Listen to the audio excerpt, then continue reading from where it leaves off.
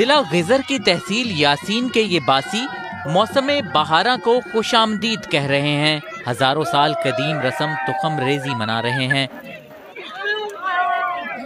शुरा कदीम इलाकाई रवायात के मुताबिक मखसूस अंदाज में आग जलाते हैं, खुशियाँ मनाते हैं।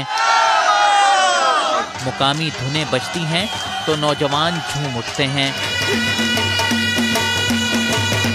कबीले के बड़ों को खास लिबास तोहफा दिया जाता है। इलाका मकीन नई फ़सल की बेहतरीन काश्त के लिए दुआ भी मांगते हैं।